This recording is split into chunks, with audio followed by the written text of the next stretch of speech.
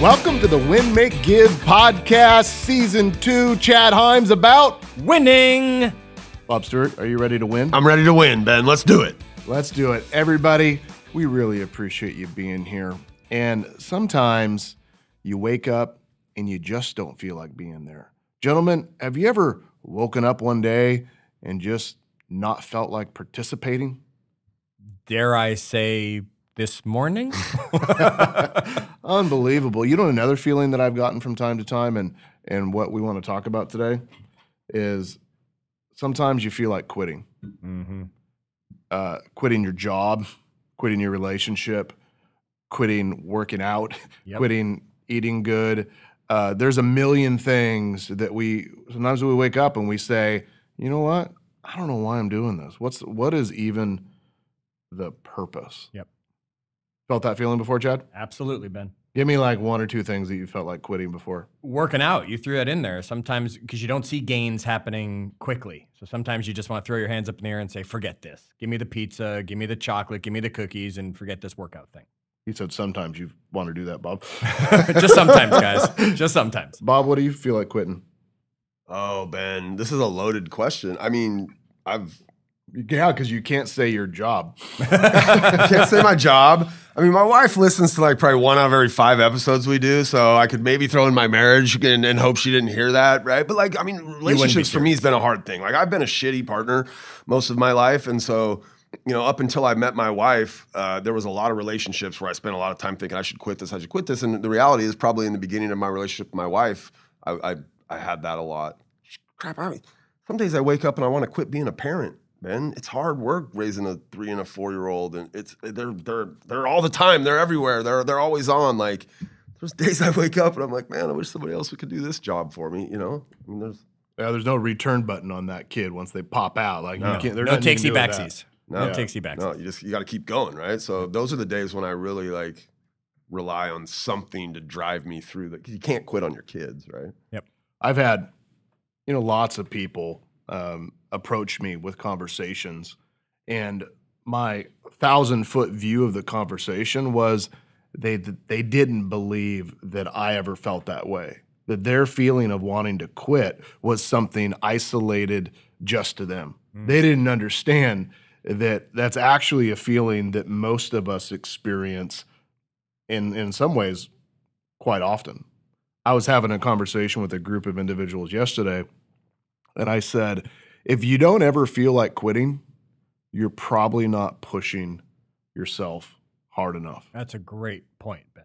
Yeah. You it's easy to work out all the time if you consider working out walking from the car to the house. Yep. Right? That's uh, I'm not going to quit that, right? But if you were really pushing yourself hard, there has to be moments in in Chad's brain when he says, "You know what? I would just maybe I should just walk." Yes. and, and stop running to this moment, right? Well, here's the thing we all feel that way. It's something that's natural. Mm-hmm. If you're not feeling that way, then maybe you should sit back for a few moments and say, what do I need to do to live up to my potential and push myself a little bit harder? I go back, you know, you always talk about um, growth happens when we get uncomfortable. And a lot, and if we're comfortable, we, we're not going to quit that thing. Walking from the car to the house, that's comfortable, right? Yep. It's when you get uncomfortable that you start to run into these these times when you want to quit. Yeah, I try to put myself into positions where I'm uncomfortable physically or mentally or emotionally, right? Because that's where that's where the growth happens. So today I want to talk about a list of reasons that I wrote down for myself about the times in my life when I've wanted to quit and what the triggers were. In my mind, that there's that there are things that trigger us to be depressed or be unhappy or to want to quit or to give up or to push harder or or to feel bad or or be emotional these are triggers. And if you can identify the triggers bob then maybe you can minimize the effects of it or minimize the low points in your world. So i identified a handful of triggers. It's another win make give podcast list Yay. chad that was the enthusiasm We uh, need like Dave. We need a sound, sound effect. effect, It's like Dave. dun, dun, like the list dropped or something. That's in my head. What it sounds like, Dave. That was arguably the worst yay I've ever got out of Chad. Yay! that That was arguably the Second most awkward, the most awkward one. Uh, ladies and gentlemen, let's go through another win make give list. Why we want to quit. Number one, we get bored. Hmm. We get bored. We get bored in our relationship. We get bored in our workout. We get bored at work. In fact, I heard somebody famous say this once we get bored with what works, so we start working on what doesn't work. Think about that sentence, how dumb that is. We get bored with what works, right? So then we quit to start doing something. that we hope works. Yeah. Yeah. Yeah. Did I ever talk about my my buddy on this podcast uh, that bought the taco truck? No, No. I think we're in Yeah, for a new story. And he's a regular regular Win Make Give listener. So as you're listening to this, uh, I'm I'm talking to you. So this guy calls Drive me. by on a recording day is what he needs to do so we can have tacos for lunch. Right. He he says, you know, I'm kind of struggling in my life and my career, and I need to make some changes. I don't necessarily love what I'm doing and, and who I'm doing it with and that sort of thing. I said, great. And he said, would you mind coaching and talking me through this decision? Absolutely. I'm always in to help a listener out and talk to them and help them make a great life decision. So I give him some advice and we start talking about a strategy and then I don't hear from him. And like a month later, he texts me, he said, guess what? I said, what? He said, things are going great. I'm like, tell me about it. He's like, I bought a taco truck. And I'm like, "Eh? you bought a effing taco truck? What are you talking about? What are you doing? Right? Your last thing was not working the way you wanted, so you added another thing that sucked. No, friendly listener who I love and adore, you don't buy the taco truck. Well, this this weekend he texted me and said, "Guess what? I sold, Sold the the, taco, taco truck. he, he he sold it. It's out of, out of his life, and he sold it for a little bit less than what he paid for it. Uh, lost some money, but he got to move on, and now he's back on the straight and narrow and focused on the next exciting part of his life. But here's what that really was. He got bored with Right. what works. Yep. So he started working on what doesn't work. Does that make sense? Yeah. Well, I mean, it makes sense when you say it. It doesn't make sense when we do it necessarily. No, No, we, but we do it, don't, Yeah, don't we? we've all do, done it. Yeah. We get bored in relationships, so we start looking for something else that's more exciting. We I get think- bored with the workout, whatever that might be. You know, my first business partner, and we're all friends, and he was, this was him, right? He, he would, we'd get something and things would be going good, and he'd be like, I'm bored. And he'd go do something else. And it was just a pattern where you could tell he'd get to a place where we'd built a business to a pretty good place and he got bored with it. And, and you know, that's part of his nature, right? He was an entrepreneur that needed to be doing something new.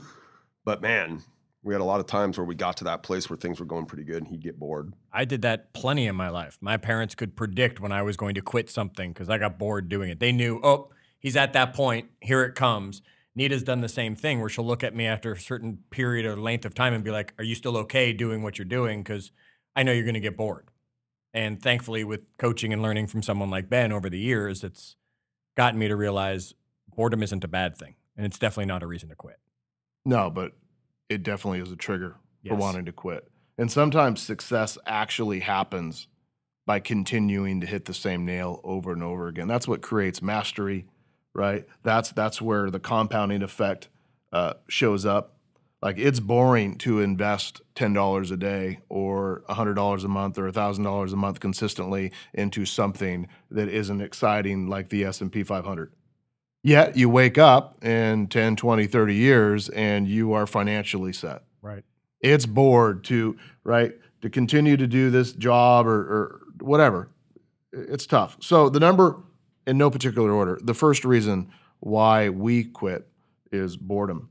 And before i go to the second one i want to point out this is also a list of reasons why people quit your company. People quit being in relationship with you. People quit working for you. People quit using your product or a service. They're running into the same problem. That's why this is such an important conversation today so that you realize that these are all triggers for you and they're also triggers for people in your world Got it. number two people quit because they hit a ceiling now bob let's be literal for a second if you stood up and you hit a ceiling how would that feel Uh, not very good. I'd no probably- it would hurt Yeah, I'd have a bump on my head. Yeah, especially Bob's always got this baseball cap Yeah. on. It has the little metal thing in the center, and, it, and when you bonk it, it hurts your head, right? Yeah, for sure. What if you do it twice? You're an idiot. then I'm an idiot. so I'm a moron. Yeah, I, sh- I should have not stood up as far this time. I mean, yeah, you're a moron. You're an idiot. It hurts You did more it twice, and it hurts more because the first time I had a bruise, and now I you got a the bruise. Now you got an extra one, right? Yeah. Well, that is a ceiling. Imagine you work really, really hard. You run this business. You you make your cheeseburgers. You sell your widgets. You do whatever, and every year you make the same amount of money.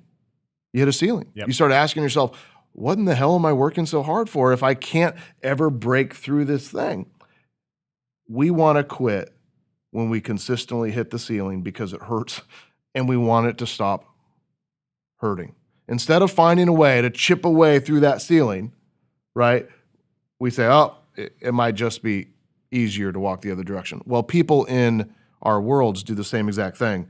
When they continue to make the same amount of money or they continue to get the same amount of results, they run into the ceiling. you know you you have a one, aspect of your business is you partner with these professionals that have been out there bumping their head against the ceiling.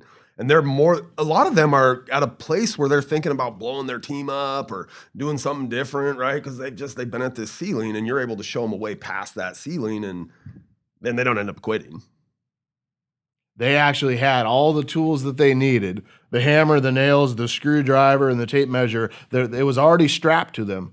They just weren't using it in the right order, so they continue to hit a ceiling, Chad, and then they want to quit. Can you think of any other examples for, for ceilings that you've seen or for yourself? Yep. I left you 10 years ago or five, six, seven years ago for another opportunity because I felt like I had hit a ceiling. So I started looking at other things that I thought had higher Uh, ceilings. yeah savage that is savage I- chad Hey, just- and I've come back There and it is. said, I, I've come back and said, I should have stuck it out. I should have been using the tools properly. Yet I still had an amazing opportunity and an amazing experience well, here, that I'll- came from it. All all uh that's that's partly Ben's fault, right? Like you didn't see any way through that ceiling. And, and maybe that's on you for not coming to him and you guys having that conversation or, and whatever it is, but that's just as much his fault for not giving you any way to get through that ceiling. Same right? Thing he said before. These things are, might be triggers for us. They're also triggers for why people leave us. Yeah. And I've told that story that I felt like I hit a certain place and Ben wasn't ready for me to go higher in what he was building at the time yet. I felt like I was at a ceiling. I saw something else, so I made the mistake and quit. Now, at the same time, I made the best of the choice that I made. I've made fantastic relationships, and I've come back a better person for it. And now I'm able to see much higher levels above me as I hit each ceiling and keep going. Basically, Chad's saying that I'm kind of like an STD. I just keep coming back into his life. Like I'm a rash. I'm growing on Chad's leg. He tried to get rid of me, and then boom, bada boom, I come back as a rash. And now, Bob Stewart, he is actually 100% stuck with me. But no, I, I would say uh, Chad made the right decision by leaving what he did. And I hope that he made the right decision by coming back. I didn't have a world big enough to support him in the areas that he wanted to focus on at the time time that he left. Now the cool thing was is that I said, "Hey, my door's always open. Yep. I love you like a friend and a brother, and we can still do lots of things together. And if you ever want to come back, you can come back." And I will tell you, because of the relationships built, and again, we're talking about quitting and people quitting us, but he was always a mentor. I don't think I made a business decision in my life from the day I left without still consulting with him. And even when he told me don't make certain decisions, I made them anyway. But I had the conversation at least that I could have with someone that I knew would be honest and help me see the ceilings that I was going to run into. And I get the unique benefit of being able to say, "I freaking told you so." Yes, you do. I told you so. yes, you do. And uh, I get the same thing back from these guys. So the number two reason why we feel like quitting, or why our people quit us, as Chad so eloquently illustrated in my own poor leadership, is uh, We hit a ceiling. we hit ceilings. Number three. Number three, no particular order. People feel like quitting because they get financially stressed. They realize they might be being successful in their business, but financially they're not getting ahead. Or they get a letter from the IRS, or they get uh, debt, or they have a bad month or two, and they weren't. We've had a yeah, couple of those, lawsuit. right? They weren't prepared with reserves, whatever it might be. So the at the first sign of financial stress, they start reacting. And they start reacting poorly, or we start reacting poorly, and we start looking for alternatives like uh, solutions to problems that were created over a long period of time. we start looking for an instant solution to it. You can't find an instant solution to a problem that was created over a long period of time. You need to find really a long term solution to a long term problem. Yeah. That makes sense. Financial stress, IRS, debt, lack of net income in your business, lack of financial growth, any of those sort of things, they create a feeling for us where we feel like quitting. Now, I've also seen that when our employees have financial stress, they come in wanting to quit and they try to make it about us, but it's actually not. So if you slow down for a second and say, Hey, I love to talk about whatever you're upset about, but before we do, can we just catch up? Can we just catch up with what's going on in your world? How are you? How is your spouse or your partner? Uh, how are you doing financially? Are you caught up? Have you paid the IRS? Do you have any debt? How much money are you making right now? Is that enough? Having those conversations, you might realize that the real problem is not the one they brought you, it's something entirely different. And if you try to solve the wrong problem, you'll actually never get ahead because they're going to come back next month stressed and upset about something else when really the underlying condition of that STD rash is is this financial stress, this this this whatever that other problem is. Mm-hmm. Make sense? Yeah. Does finances have that negative effect on you guys? Yeah, absolutely. It caused, I ran away from an opportunity when I owned a baseball school in Florida. We financially got ourselves upside. Boom. I knew I could make money as a waiter. Boom. Quit, left, closed the company down, ran back to something where I knew I could make the money and immediately not have to deal with that issue any longer. Did you know that he owned a baseball school in Florida? Yeah, but uh, but it was definitely not top of my brain. That's one that's been floating around down somewhere about the stem for a Yep. while. Yeah. Well, we should dig into that someday. Okay. Someday. Chad, the number three reason that we feel like quitting or our people feel like quitting is financial stress. What are some things that we could do to eliminate financial stress from us so that we don't run into that feeling every November, December, January, February, whenever the slow time of your life is, Yep. where you feel like quitting? reserves, building reserves would be a a first step. Yeah, build reserves so that you can withstand a long period of time four months, five months, six months with zero income. Yep. What's another thing that we could do to uh, remove the, the financial reasons for wanting to quit? Eliminate debt so that we're in a position where if something is going wrong, we're not having to panic that someone's about to knock on our door and throw us out or take our car. I mean, the the the the extension of eliminating our debt is that we do have then that credit to pull on in a in a time of need, right? Yep. Sure. It also increases your net income. So, taking the Michael Michalowicz approach of his book Profit First, Yep. living off of uh, making your business margin be a specific amount and basing all of your expenses off everything else. Yep. So then you don't run into that position. you know, Ben, I'd I'd be doing a disservice to our audience if I didn't stop right here and say taking the wealth series. Right. Yeah. And they should be going to winmakegive.com slash wealth, where they can then link up to the wealth series episodes, get the handouts that we did during the wealth series. Uh, you want to learn about reserves, you want to learn about eliminating debt, you want to learn about getting rid of that financial stress. The wealth series will definitely help walk you through those steps. Yeah, such a great, great point, Chad. I know that we're we're one year away from uh, uh, from when we first launched the Wealth Series, so very interesting to see the feedback from people and how much their life has changed financially in just one year.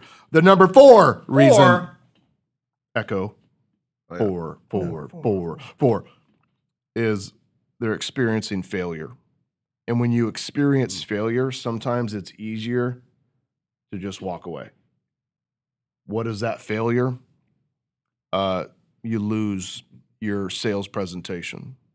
You try to hire somebody and they won't join you. You You, have a couple of your people quit. you attempt to assemble an IKEA bookcase or something like that. How many times have we all walked away from all the parts in the middle of the room, thrown our hands up in the air, and went, "That's it, I'm out." I probably think the last three times I've put one of those types of things together, I've gotten it all done and realized like, what is that piece? Crap! and just had to re, you know, just back everything up and yeah.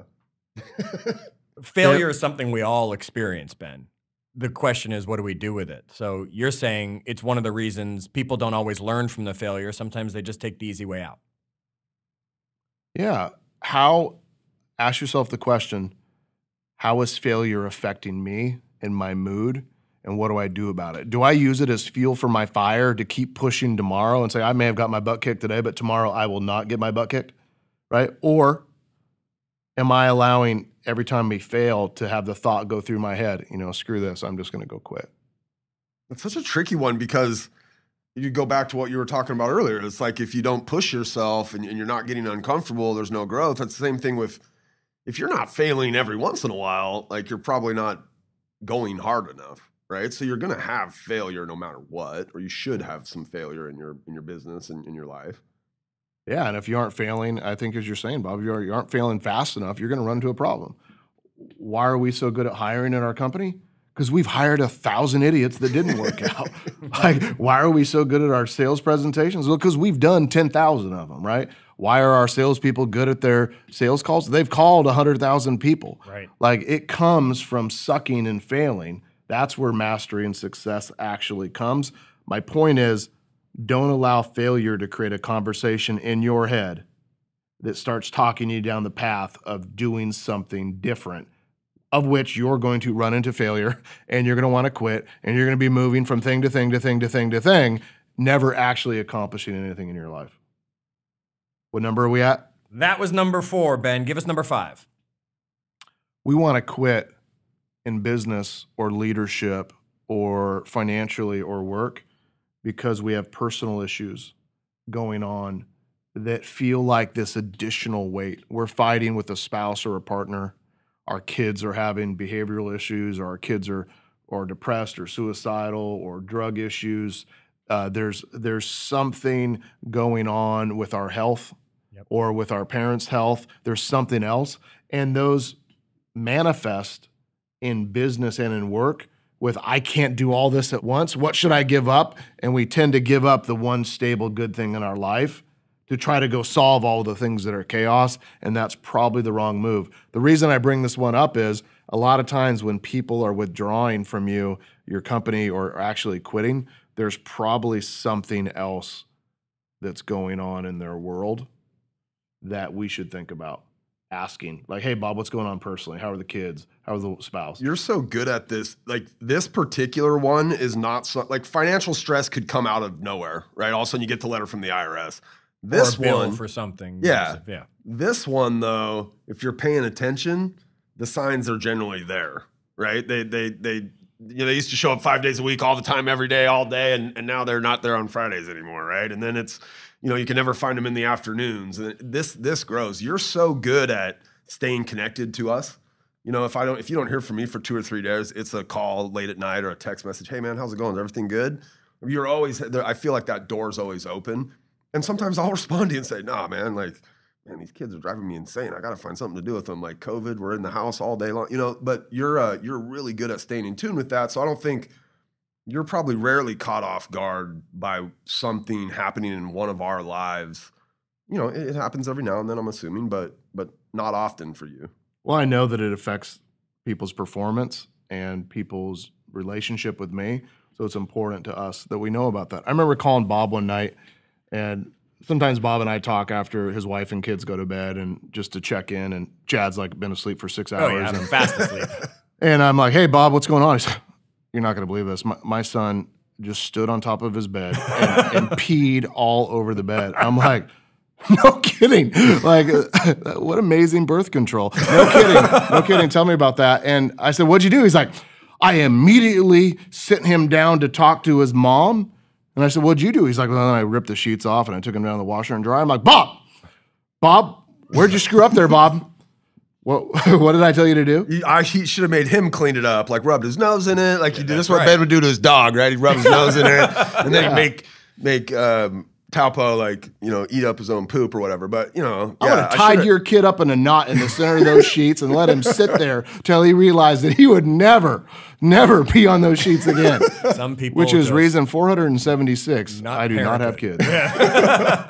okay, uh, personal issues ask yourself the question is there something else going on in my life right now that's a, that's causing me to want to quit in this other area business life financially, work, whatever, just ask yourself the question. And then remember to ask your people as well.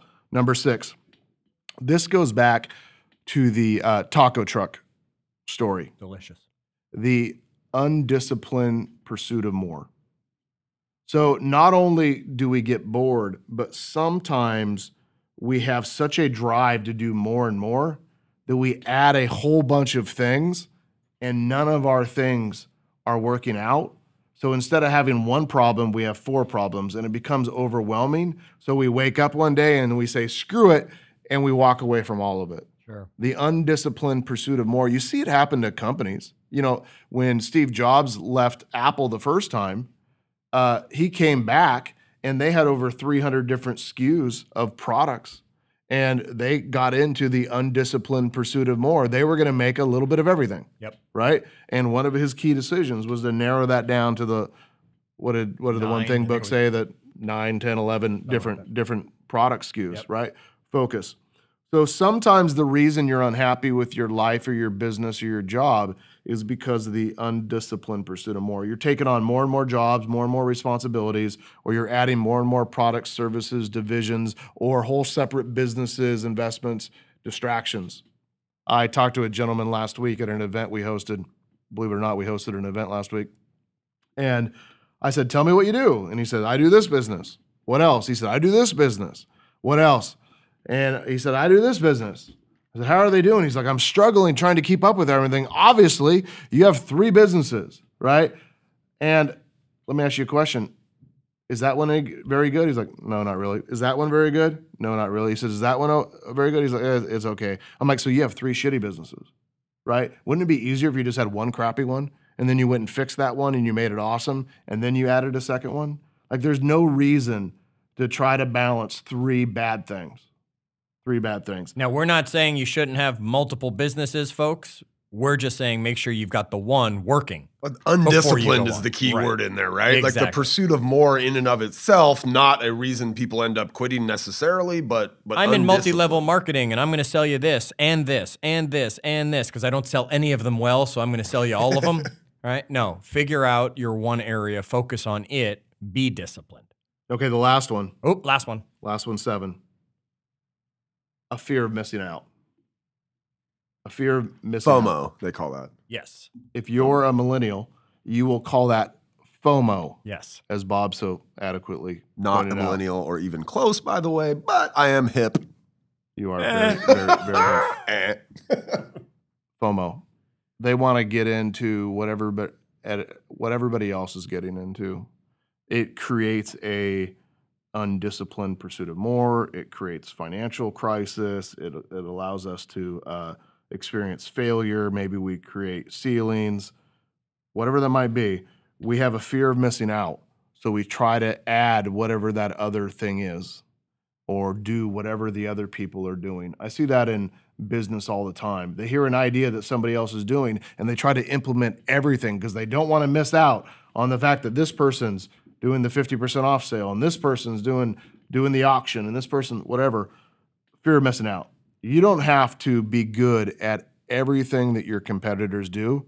Sometimes it's important just to be good at what you do first. Yes. So Chad, walk us through the the seven reasons why the seven causes of us wanting to quit. All right, here we go. The seven reasons that we want to quit. Number one, Ben told us, was boredom. And remember, these aren't things just for you, these are why people might quit you. Number one is boredom. Number two, we hit a ceiling. Number three, financially stressed. Number four, we're experiencing failure.